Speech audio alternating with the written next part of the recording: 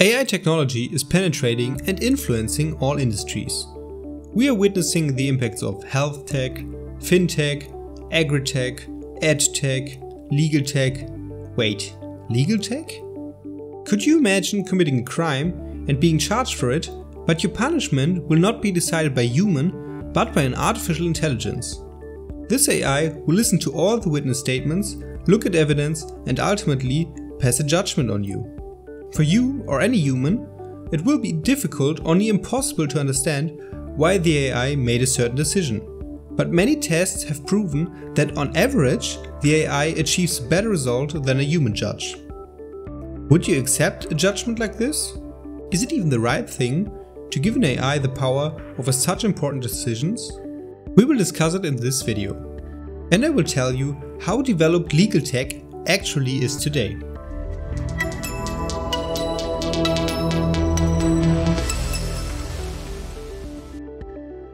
Let's face this, court proceedings are costly. Legal texts are long, complicated and must always be applied to the specific case. In addition, witnesses have to be questioned, contracts have to be read, and in the end, everything has to be documented in detail so that the case is comprehensible for everyone. We all can agree that such an effort is important and right in the case of a murder. But courts also deal with cases that are rather unimportant and it will take forever until these cases even get reviewed. Introducing RoboJudge. He can make sure that people in court have time for the more important things by deciding less important cases in minutes. But how could a RoboJudge like this work? And is there already a country where this is used? We find the answers in Estonia. Here, AI is already being developed and tested to hear and decide cases between parties for less than 7000 euros Estonian government officials say they hope that the system will clear backlog of cases for judges and court clerks. In concept, the two parties to a dispute will upload documents and other relevant information to a court platform, and the AI will issue a decision that can be appealed to a human judge. The project is set to launch later this year and will begin by resolving contract disputes. With this, Estonia is taking a big step forward the future of AI technology. As one of the smallest countries in the EU, Estonia is always on the forefront when it comes to simplifying government tasks and to use technology to advance their country. And the robot judge is supposed to be one of these projects, handling the cases that no one else could handle. Artificial justice is better than no justice, right? But is this morally justifiable? Courts and the administration of justice are the cornerstones of democracy and important for any society. A society in which you cannot rely on an independent authority to verify whether an action is legal or not would be an anarchy.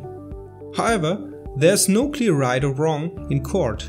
There are a lot of arguments, and interests have to be weighted against each other in order to come to a decision that is fair. Do we really want to hand over this important area of our society to a machine? Would this automatically lead to an increase in convictions because an AI is stricter and therefore imposes longer sentence for minor offenses? Well, that depends on how the AI is programmed and what data is available for training. The responsibility would shift from the judges to the computer scientists and engineers, but they are not necessarily trained for this case. And what if an AI makes a wrong decision?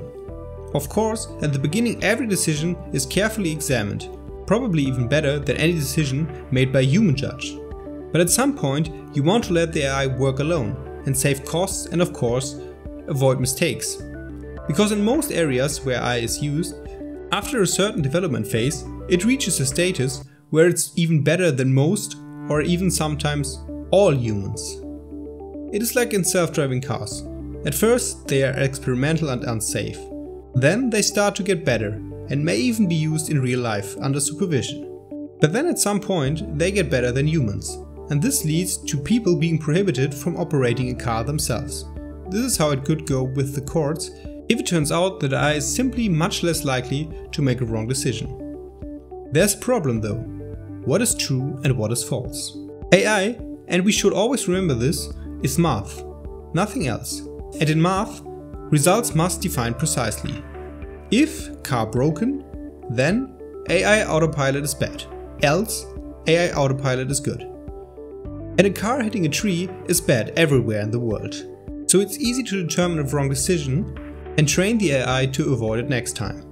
But a judgment in one case in the United States can be completely wrong in a similar case in China. And most of the time it probably is. And this is not only because China and the US have completely different laws, but because you can never say that a decision in court is right or wrong. Not even courts agree. Some decide more harshly, some don't. Both is compliant with the law. And I think that the diversity and also the human side of court cases is important. I'm very often in favor of usage of AI technology to improve our lives. And I'm also very interested to see how well AI is developing in Estonia. But in the end, I think only humans should judge other humans. How do you think about it? Thank you very much for watching.